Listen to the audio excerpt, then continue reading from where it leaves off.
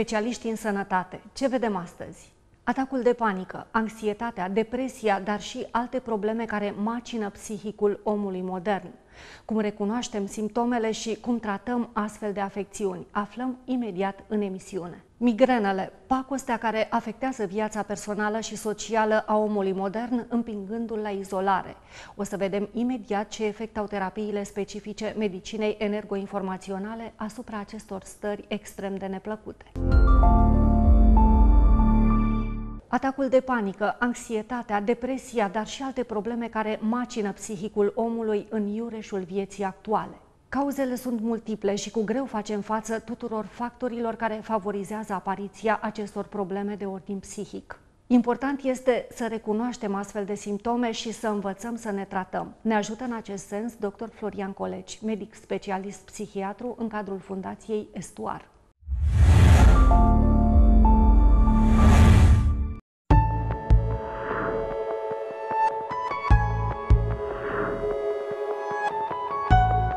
Depresia este una din cele mai frecvente boli, așa cum spuneam, și dincolo de simptomatologia ei generală, putem să ne dăm seama fiind atenți la două simptome. Dacă ne punem aceste două întrebări, putem să fim foarte aproape de diagnosticarea corectă a depresiei, fără să avem studii medicale. Și vorbesc de prima întrebare. Dacă cumva în ultima perioadă uh, o persoană care înainte avea un, un set de obiceiuri, un ritm de viață și a schimbat acest lucru și nu-i mai face plăcere să facă anumite activități, să urmărească poate anumite emisiuni uh, TV, cum făcea înainte.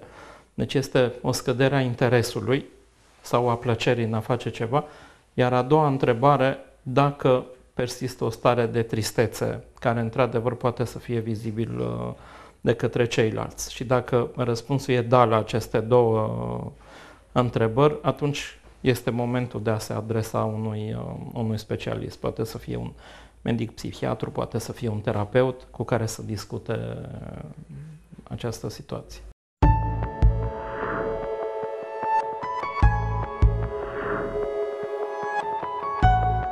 Trecerile bruște pot să aibă două, trei motive. Ele Orice schimbare ar trebui să fie un semnal de alarmă. Dacă apare o schimbare care nu se regăsește, de fapt, în ritmul și în modul de a fi, uh, ce să spun, o persoană liniștită care brusc începe să cheltuie excesiv sau uh, deși niciodată n-a pierdut nopțile, să zic așa, începe și are o schimbare destul de rapidă. E, în acele momente ar trebui să ne punem întrebarea dacă nu cumva a intervenit o, o problemă.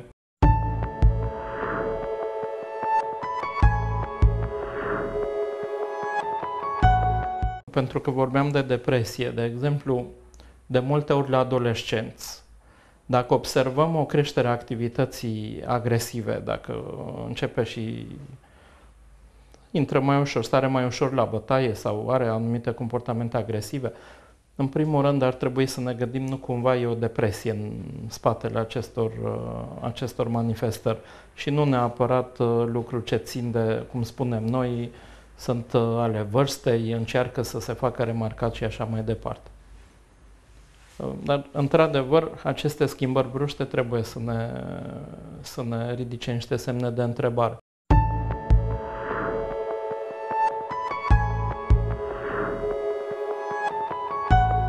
Alt motiv ar putea să fie o instabilitate, trece foarte repede de la o stare la alta, pentru că posibil a scăzut toleranța la frustrare, un lucru pe care îl vedem în jur, în trafic.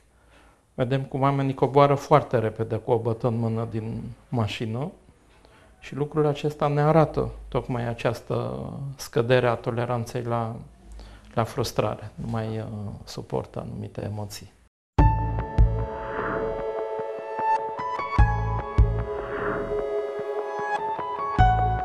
Interesant pentru că de multe ori și depresia și anxietatea pot să fie un simptom sau pot să fie o boală. Și atunci e important să facem diferența, pentru că anxietatea este o, o teamă fără obiect aparent. Da? Doar că anxietatea este și un mecanism de apărare.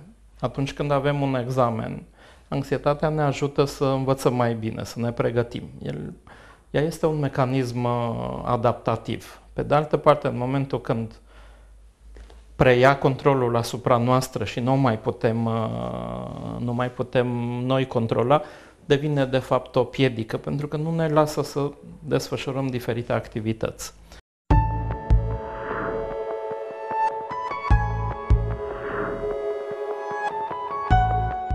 Anxietatea poate să fie un simptom și se întâlnește și la alte probleme, nu neapărat doar la cele psihice. De exemplu, printre primele semne al infarctului miocardic este starea de anxietate. Corpul simte, se întâmplă ceva, anxietatea apare de multe ori când ne confruntăm cu lucruri necunoscute, nu avem controlul și atunci apare această stare de manifestată și prin emoția în sine, dar și prin diferite manifestări uh, fiziologice. Poate să înceapă inima să bată mai repede, să se strângă stomacul și așa mai departe.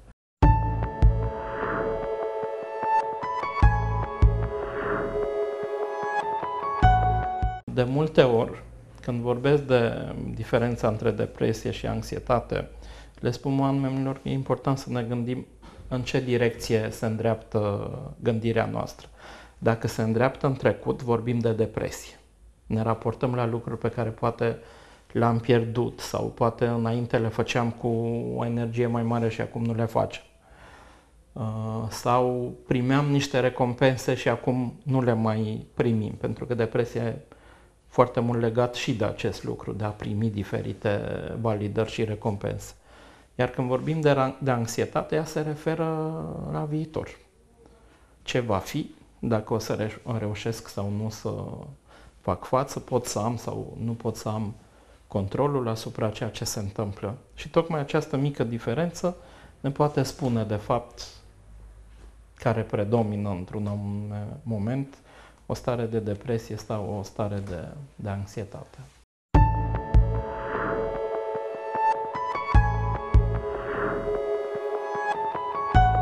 Anxietatea poate să ascundă de multe ori ceva mai grav. Ea este primul semn, dar uh, o tulburare anxioasă poate să ascundă după aceea sigur și apariția unor boli mai serioase, cum le-am numit, uh, inclusiv uh, tulburarea bipolară sau inclusiv schizofrenie se, schizofrenia se pot manifesta așa. Dar, în general, ea rămâne, de fapt, un simptom a omului modern, care nu știe, nu mai are controlul asupra vieții așa cum avea înainte. Lucrurile se schimbă foarte rapid și în momentul în care nu ții ritmul cu schimbările, apare starea de anxietate. Vrei să știi dacă o să mai poți sau nu o să mai poți să te adaptezi.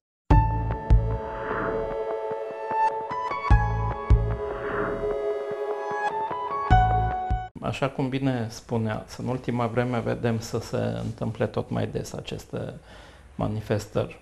Uh, atacul de panică face parte din, acest, din această categorie uh, tulburărilor anxioase și e vorba de mm, o stare de anxietate în care apar anumite gânduri sau anumite temeri foarte amplificate. De obicei, când vine vorba de un atac de panică, o persoană spune adesea că simte că va muri sau că o să-și piardă mințile. Deci este o stare de extremă pierdere a controlului. Și inclusiv comportamentele pe care le are sunt uh, pe măsura acestor gânduri. O să vedem foarte des când deschide, deschide geamul, vrea să respire aer curat și așa mai departe. Uh, este și un răspuns uh, fiziologic al corpului Într-adevăr, în momentul când apare o teamă, corpul încearcă să ia niște măsuri de, de apărare. Așa că o să crească fluxul, uh, o să crească bătăile inimii, pe de altă parte, lucrul acesta îi face pe mulți să se gândească, vezi, aveam dreptate, sigur o să am un uh, atac uh, cardiac și o să mor sau o să se întâmple ceva grav. Partea bună este că aceste lucruri țin între 10, 15, maxim 20 de minute și trec ușor, ușor. Pe de altă parte însă este destul de invalidant să le ai uh, frecvent și să stai cu această teamă. Uh, foarte mulți apelează rapid la medicamente. Din păcate, Medicamentele nu ajută neapărat foarte mult la a trata tulburarea, ci doar a ascunde și a trata niște simptome.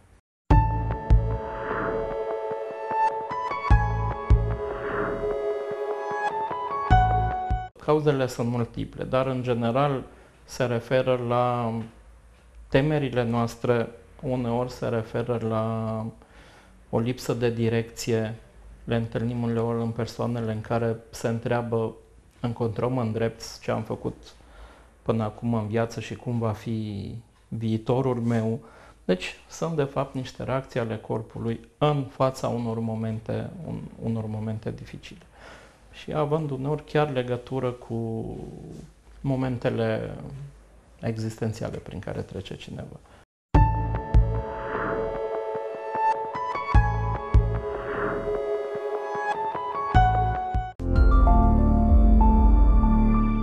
Migrenele, pacostea care ne afectează viața personală și socială, împingându-ne la izolare.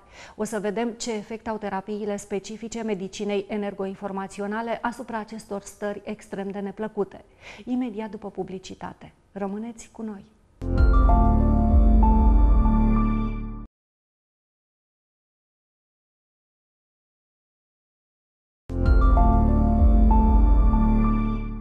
Cine nu a avut măcar o migrenă în viața lui nu știe cât este de chinuitoare o astfel de stare. Afectează practic întregul organism, dar și psihicul omului. Îi dă peste cap viața personală și socială, împingându-l la izolare. Mergem în zona medicinei energoinformaționale și vedem ce efect au asupra acestor stări terapiile complementare specifice. Cu detalii, terapeutul Florica Munteanu, homeopat, nutriționist, specialist în biorezonanță. O femeie care are de două ori pe săptămână sau de trei ori atacuri de migrenă sau o dată pe săptămână este o femeie care aproape de cel mai multe ori trebuie să iasă din viața socială, chiar și din viața de familie, să se izoleze.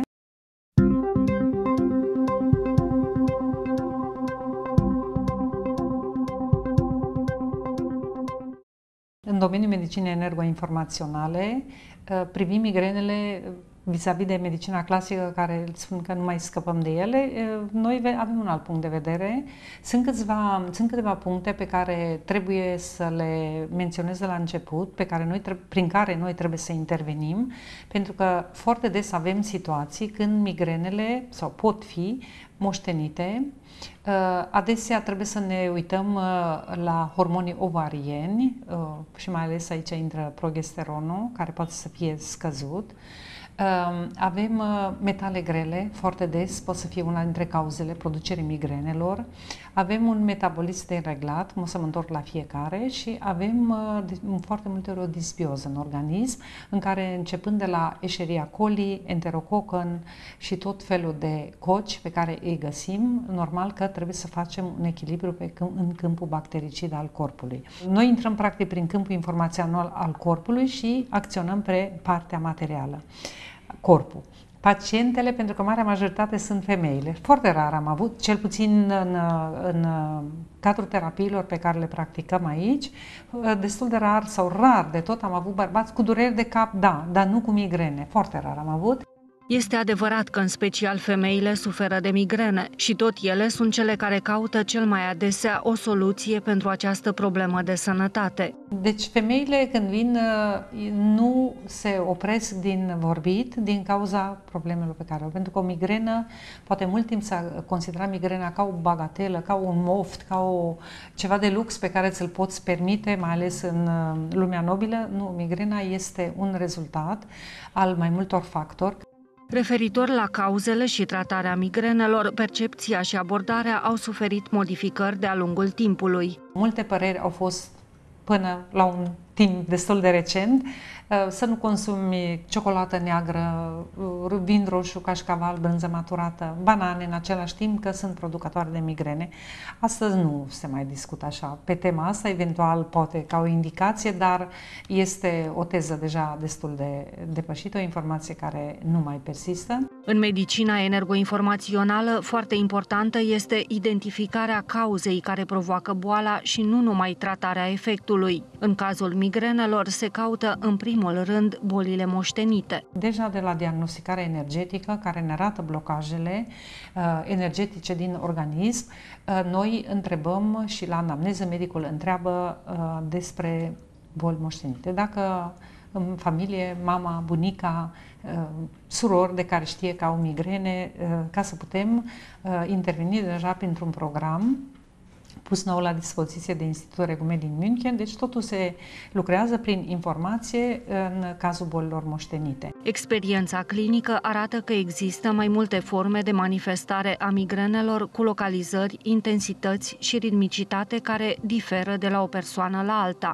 La diagnosticare sunt identificate și blocajele energetice care pot provoca neplăcutele migrene. Din practică pot vorbi destul de multă um, legătură între uh, migrene, ficat, vezica urinară, vezica tract urinar, mai bine zis, și uh, diferite cicatrici, diferite operații pe care le-am avut pe, pe, uh, pe timpul vieții, unde a rămas o cicatrice care poate că nu doare sau poate doare numai la schimbarea de anotim, că în general cicatricele atunci, uh, de, de obicei la, după cezariană foarte multe femei, um, avem uh, blocaj energetic și mai ales dacă este sub umbilic, cicatricea sau cicatrice foarte veche, poate să fie pe dinți, poate să fie la, pe gingie, poate să fie undeva pe coloană, poate să producă un blocaj energetic foarte mare. Și din discuțiile pe care le, ai la, le are medicul la anamneză cu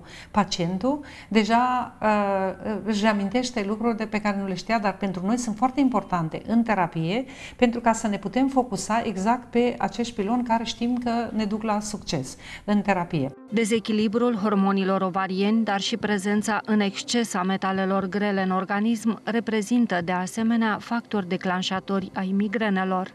O altă problemă de sănătate care poate declanșa migrena este metabolismul corpului. Metabolismul dereglat. Și aici putem începe. Rinichii.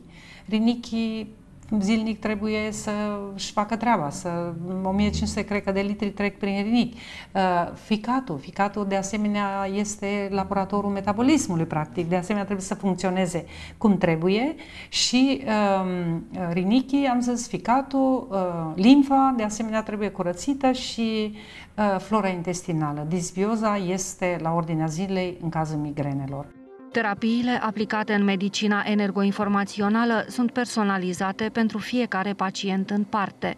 Foarte important în cadrul migrenelor este microimunoterapia, o terapie personalizată în funcție de posibilitatea organismului de a prelucra informația uh, pe care o primește. Practic, pacientul sau pacienta dă informația în aparat, prin conectare cu aparatul. Aparatul analizează această informație energetică pe care a primit-o și o transmite înapoi prin măduva spinării, așa cum o poate prelucra corpul pacientului, pacientei în terapie. Efectele aplicării terapiilor energoinformaționale se văd rapid. Noi avem posibilități mai multe. Odată că în cazul migrenelor se intră cu programe focusate, uh, că e pe dreapta, că e migrena pe stânga, că se repetă la, uh, de două ori pe săptămână sau o dată pe lună. Avem carduri speciale pe care putem înregistra terapia în cazul pacientelor uh, cu migrene foarte severe și am avut situații, dar mă întorc încă la terapie, am avut situații dese în care chiar după o ședință pacienta ne-a spus n-am mai avut intensitatea și densitatea, adică repetiția. N-a mai fost, uh, în loc de două pe săptămână, am avut una, poate, și uh, durerea a fost uh, mai ușor de suportat, fără stările acelea de vomă. Vorbim de medicina alternativă, medicina energoinformațională. Deci posibilitatea de a trata cu informația așa cum o vrea corpul, ne-o spune corpul pacientului și ca atare informația pe care o primește pacientul în loc de medicament, în ghilimele, este informația de care are el nevoie. Că un medicament de, care se ia poate pentru ușurarea în cazul migrenelor, uh, la unii pacienți este sau la alții nu are niciun efect uh, sau după ce uh, durerile s-au cronicizat, deci în cazul migrenelor la marea majoritate și pacientul ia sau pacienta ia foarte des medicamente, sigur că apar celelalte probleme Este importantă recomandarea terapeutului în cazul tratamentului energoinformațional aplicat pacientului cu migrene. Deci terapiile nu se intersectează odată, dar ar fi de recomandat să nu mai ia medicamente de sinteză, pentru că, într-adevăr, pacientul simte și la nevoie, sigur că introducem și ceva homeopat. Dar în timpul terapiei, noi dăm și vibrații homeopatice, pentru că însăși diagnosticarea energetică, uh, chiar și în cazul migrenelor, ne dă și o informație în ce direcție uh, am putea apela la un uh, remediu homeopatic care poate să îl ajute pe pacientul care a căutat această alternativă, pentru că pacienții care vin la noi și pacienții cu migrene sunt în general și îi migrena, o durere cronică, sunt um, persoane care au aceste probleme de mult, ei caută o alternativă. Ei caută o alternativă tocmai să iasă de pe medicamentația severă, uh, citind uh, uh, efectele secundare și simțind pe propria piele efectele secundare, doresc să scape și în același timp, bineînțeles că își doresc să scape de migrene, ceea ce n-au reușit până la ora actuală. Terapiile cu aparatură de ultimă generație Bicom Optima sunt aplicate în Centrul German de Biorezonanță Dermavital din București, singurul acreditat și coordonat în România de către Institutul Regumed din München. Astfel de terapii sunt aplicate într-o gamă extrem de variată de afecțiuni, inclusiv în cazul migrenelor.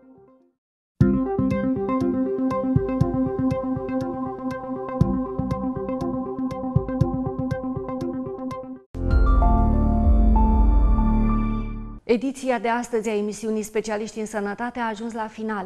Ne mai puteți vedea pe site-ul naționaltv.ro și pe pagina noastră de Facebook. Ne revedem sâmbătă viitoare de la aceeași oră. Până atunci, la revedere!